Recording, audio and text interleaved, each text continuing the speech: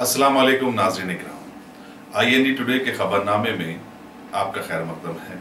آئیے دیکھتے ہیں آج کے تفصیلات۔ صدر مجلس ورکن پارلیمنٹ بیرسٹر اسود الدین اویسی نے خاتون صحافی غزالہ وہاب کے انکشافات کے پس منظر میں مملکتی وزیر خارجہ ایم جے اکبر کی فلفور برطرفی کا مطالبہ کیا ہے۔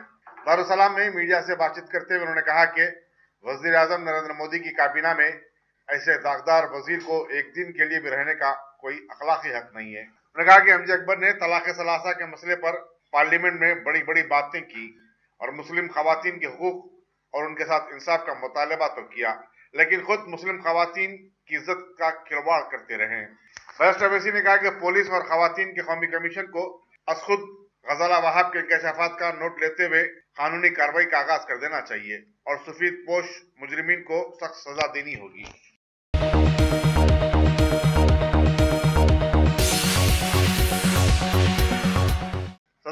اسپیشل خادریہ فاؤنڈیشن مولانا سید سعید الحسینی سعید خادری نے اتر پردیش وقف بورڈ کے صدر نشین وسیم رضوی کی جانب سے صحابہ اکرام کی شان میں گستاخی کی مذمت۔ انہوں نے وسیم رضوی کی وقف بورڈ کی صدارت سے برطرفی اور ان کی فوری گرفتاری کا مطالبہ کیا۔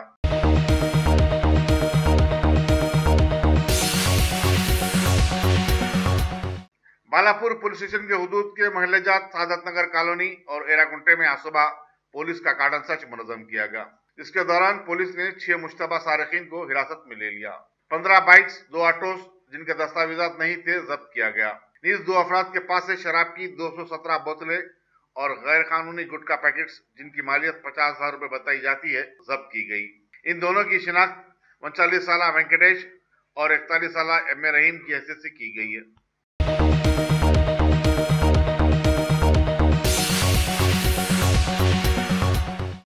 G H M C commissioner و حیدرآباد ڈسٹرکٹ الیکٹرل آفیسر دانا کشور نے آج ایک اعلیٰ سطح اجلاس میں دونوں شہروں کے حساس مراکز ذرائع دہی کی نشاندہی کی اور وہاں سیکیورٹی انتظامات کا جائزہ لیا۔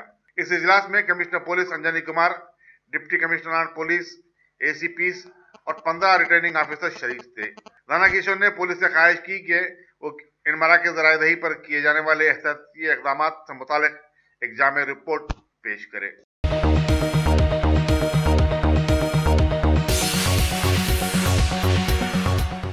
حج سال سیزن دو ہزار انیس کے لیے درخواستوں کی اجرائی سے متعلق بعض اخبار اطلاعات پر تبصرہ کرتے ہوئے executive officer Telangana Haj committee doctor S Shakoor نے کہا کہ مرکزی حج کمیٹی کی طرف سے انہیں سرکاری طور پر اس کی کوئی اطلاع نہیں ملی ہے۔ بعض اخبارات میں شائع ہوا کہ اٹھارہ اکتوبر سے فارمز کی اجرائی عمل میں لائی جائے گی۔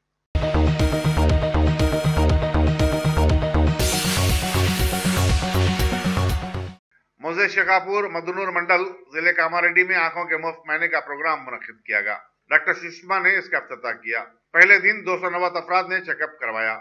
یہ پروگرام چار دن تک جاری رہے گا۔ اس موقع پر سابق سرپنچ سنتوش کے علاوہ محمد پٹیل، کریم پٹیل اور شبیر پٹیل وغیرہ موجود تھے۔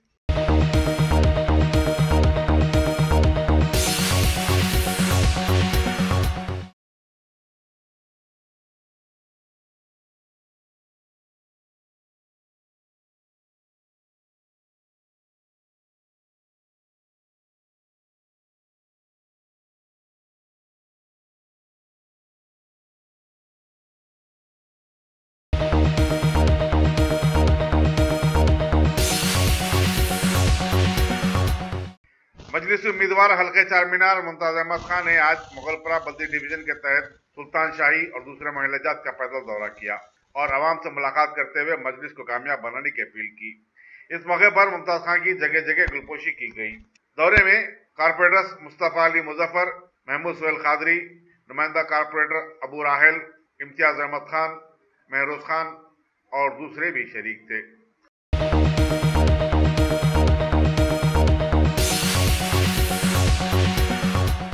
اسلام کے مختلف مسالک اور فرقوں کی نمائندہ شخصیتوں پر مشتمل مسلم یونائیٹڈ فورم نے آنے والے اسمبلی انتخابات میں مجلس اتحاد المسلمین کی غیر مشروط تائید کا اعلان کیا ہے۔ فورم کے اجلاس میں جو کل رات مسجد دارالشفا میں منعقد ہوا، اس خیال کا اظہار کیا کہ موجودہ حالات میں مجلس کو مستحکم کرنا وقت کا تقاضا ہے۔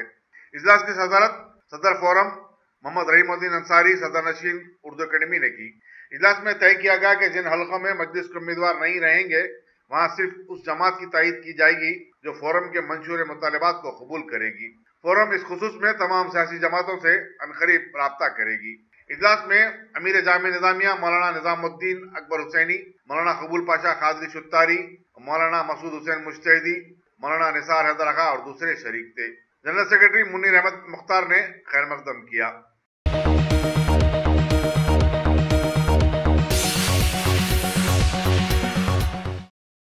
کرناٹک اسمبلی انتخابات میں بری طرح پٹ جانے کے بعد مہیلا امپاورمنٹ پارٹی نے اب ریاست تلنگانہ کے اسمبلی انتخابات میں حصہ لینے کا فیصلہ کیا ہے۔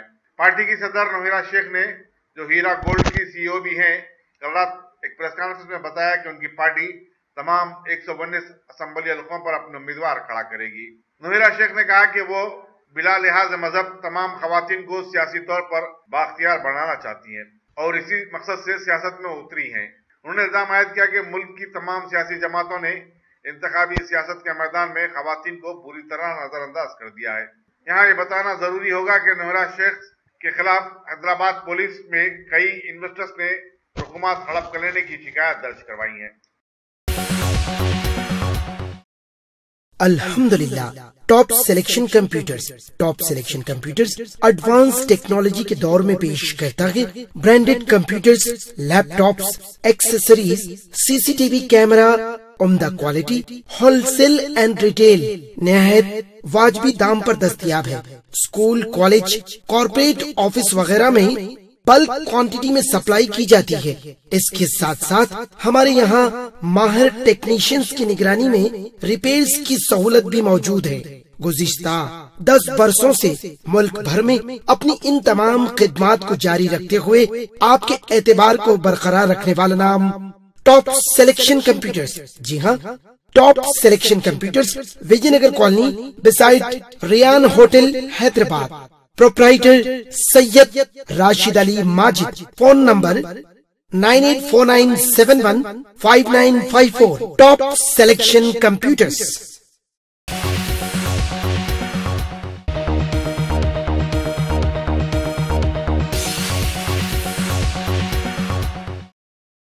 B J P کے قومی صدر امیت شاہ نے آج حیدرآباد میں اپنی آمد کے فوری بعد بنجا راہل پہنچے جہاں انہوں نے جین مذہب کے پیشوا مہاراجہ اگر سنگھ کی جنتی تقاریب میں شرکت کی۔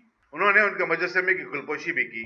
اس موقع پر deputy chief minister Mahmood Ali, وزیر information technology K T Rama Rao سابق گورنر تمل ناڈو کے روشیا رکن parliament Bandaru Dattatreya B J P کی ریاستی صدر ڈاکٹر کے لکشمن اور دوسرے موجود تھے۔ قبل عظیم بیگم پیٹ ایئرپورٹ پر امیت شاہ کا پارٹی کارکنوں نے زبردست خیر مقدم کیا۔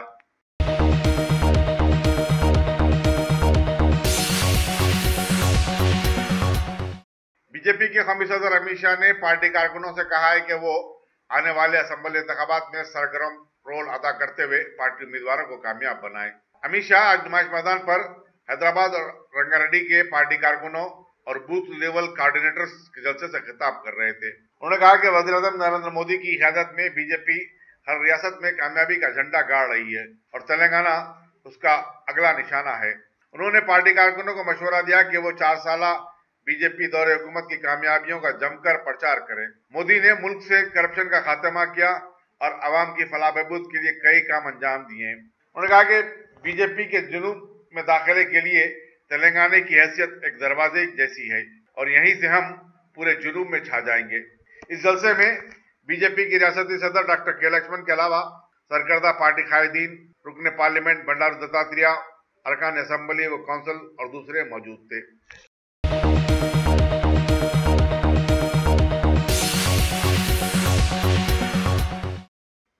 پردیش شیعہ وقت بورڈ کے صدر نشین، وسیم رضوی کی جانب سے خلفائے کرام حضرت ابو بکر صدیق رضی اللہ عنہ اور حضرت عمر فاروق کی شان میں گستاخی پر شدید احتجاج کرتے ہوئے دبیل پورے کے مسلم نوجوانوں نے پولیس اسٹیشن دبیل پورے میں ایک شکایت درج کروائی ہے۔ انہوں نے کہا کہ وسیم رضوی کے بیان سے لاکھوں مسلمانوں کے جذبات مجروح ہوئے ہیں اور مسلمان ایسی گستاخیوں کو برداشت نہیں کر سکتے۔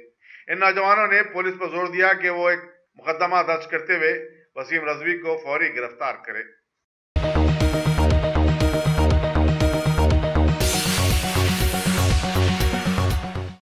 کالونیوں اور محلوں میں سی سی ٹی وی کیمروں کی بڑھتی ہوئی اہمیت کے پس منظر میں زبان پورا آگاپورے کی بستی میں بھی مقامی لوگوں نے پچاس سی سی ٹی وی کیمرے نصب کیے ہیں۔ انسپیکٹر حبیب نگر پولیس مدھوکر سوامی نے اس کا افتتاح کیا۔ صدر بستی کمیٹی محمد محبوب نے کہا کہ امن و ضبط کی برقراری اور جرائم کی روک تھام میں سی سی ٹی وی کیمرے مددگار ثابت ہو رہے ہیں۔ چنانچہ انہوں نے مقامی عوام کے تعاون سے یہ اقدام اٹھایا ہے۔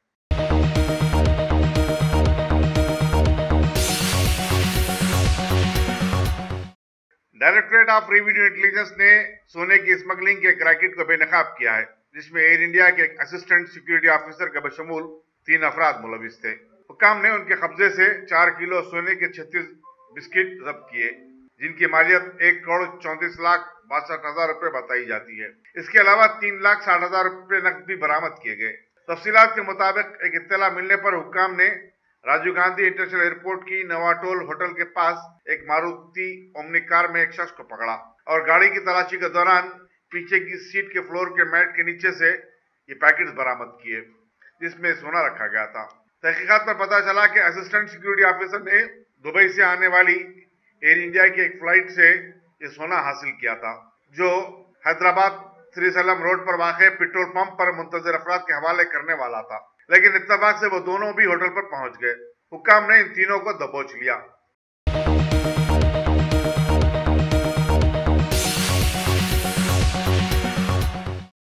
پنجاب کے وزیر فائنانس منپریت سنگھ بادل نے کہا ہے کہ ان کی ریاست میں بیس لاکھ کے منجملہ، دس لاکھ کسانوں کے دو لاکھ روپے کی حد تک کے قرضے معاف کر دیے گئے، جو کہ پورے ملک میں ایک مثال ہے۔ گاندھی بھون میں ایک پریس کانفرنس سے خطاب کرتے ہوئے انہوں نے کہا کہ پنجاب کانگریس نے پہلے دو ایکڑ اراضی رکھنے والے کسانوں کے ہی قرضے معاف کرنے کا پروگرام شروع کیا تھا، لیکن بعد میں اسے توسیع دی گئی اور اب پانچ ایکڑ اراضی رکھنے والے کسانوں کے قرض جات بھی معاف کیے جا رہے ہیں۔ منپریت سنگھ بادل نے کہا کہ قرض معافی سے زیادہ کسانوں کے ارکان خاندان کی تعلیمی و معاشی اور سماجی پسماندگی کو دور کرنے اور ان شعبوں میں ان کی خاطر خواہ مالی مدد پر غور کرنا چاہیے۔ کیونکہ اس سے طویل مدت میں فائدہ ہوگا۔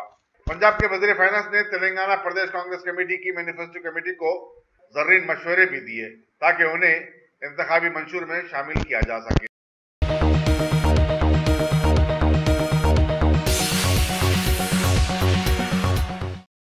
نلگنڈا کے سابق رکن اسمبلی کومٹ ریڈی وینکٹ ریڈی نے ریاستی حکومت سے مطالبہ کیا کہ وہ ضلع نلگنڈا کے دھرما چلہ میں چار ہزار میگا واٹ والے تھرمل پاور پلانٹ کے قیام سے دستبرداری اختیار کر لے۔ ایک پریس کانفرنس سے خطاب کرتے انہوں نے کہا کہ اس پلانٹ سے ماحولیاتی نظام کو خطرہ لاحق ہے۔ نیز اس پر آنے والا خرچ مستقبل میں اٹھائیس ہزار کروڑ تک پہنچ جا سکتا ہے۔ انہوں نے کہا کہ ریاستی حکومت دوسری ریاستوں سے ٹینڈرز طلب کرتے ہوئے سستے داموں پر برقی خرید سکتی ہے۔ تو ایسے میں بھاری مصارف خرچ کر کے پلانٹ تعمیر کرنا کوئی معنی نہیں رکھتا۔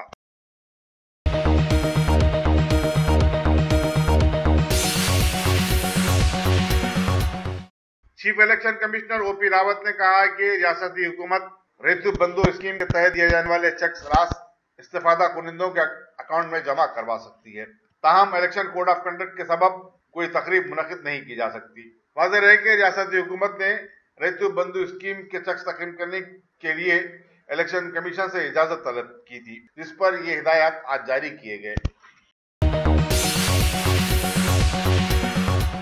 اگر آپ نے ہمارے چینل کو سبسکرائب نہیں کیا ہے، تو آپ کو یہاں سبسکرائب بٹن دکھ رہا ہے۔ اسے کلک کریے اور سبسکرائب کیجیے۔ اور ساتھ ہی ساتھ بیل آئیکن کو بھی کلک کریے گا، جس سے کہ آپ کو تازہ اپڈیٹ ملتے رہیں۔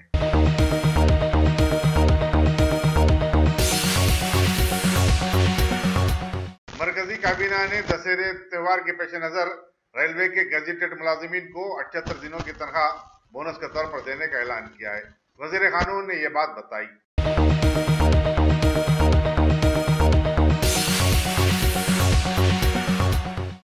ضلع رائے بریلی کے موضع ہرچند پور میں ٹرین کے حادثے میں پانچ افراد ہلاک اور انیس افراد زخمی ہو گئے۔ چیف منسٹر اتر پردیش یوگی آدتیہ ناتھ نے محلوکن کے ورثہ کو فیکس دو لاکھ روپے کی امداد کا اعلان کیا ہے۔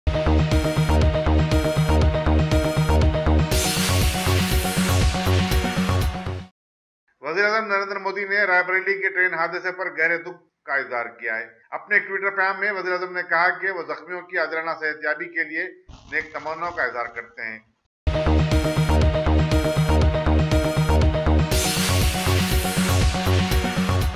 مرکزی وزیر ریلوے پیوش گوئل نے بھی رائے بریلی ٹرین حادثے پر گہرے دکھ کا اظہار کیا ہے۔ انہوں نے محلوکین کے ورثہ کو فیکس پانچ لاکھ روپیے شدید زخمیوں کو ایک لاکھ اور معمولی زخمیوں کو پچاس ہزار روپے کی امداد کا اعلان کیا ہے۔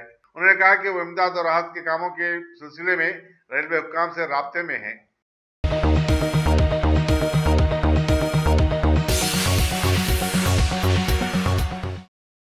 جموں کشمیر میں بلدی انتخابات کے دوسرے مرحلے کے سلسلے میں آج تیرہ اضلاع میں رائے دہی ہوئی۔ چار مرحلوں میں ہونے والی رائے دہی کا اختتام سولہ اکتوبر کو ہوگا، جبکہ بیس اکتوبر کو نتائج کا اعلان کر دیا جائے گا۔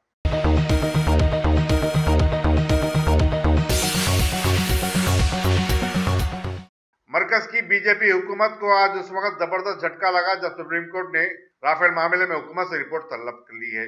واضح رہے کہ رافیل معاملہ پورے ہندوستان میں گونج اٹھا ہے اور بی جے پی بڑی بدنام ہوئی ہے۔ اگر آپ نے ہمارے چینل کو سبسکرائب نہیں کیا ہے تو آپ کو یہاں سبسکرائب بٹن دکھ رہا ہے۔ اسے کلک کریے اور سبسکرائب کیجیے۔ اور ساتھ ہی ساتھ بیل آئیکن کو بھی کلک کریے گا جس سے کہ آپ کو تازہ اپڈیٹ ملتے رہیں۔